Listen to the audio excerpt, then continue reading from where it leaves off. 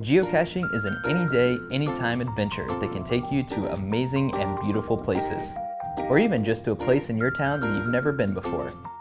There are 2 million geocaches worldwide. There are probably even some near you right now. Yes, you. To start finding them, just get out your phone or GPS. Go ahead, I'll wait. Then, create a free geocaching account and you're ready to go. The way it works is simple.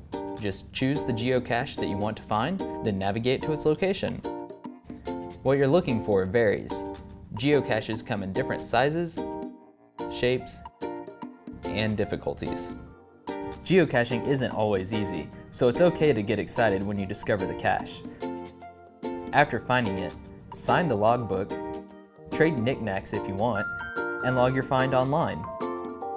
When you're done, just put the geocache back where you found it and you're on to the next one. Uh, hey, it's the other way. There's an adventure happening all the time, all around you. Become a part of it at geocaching.com.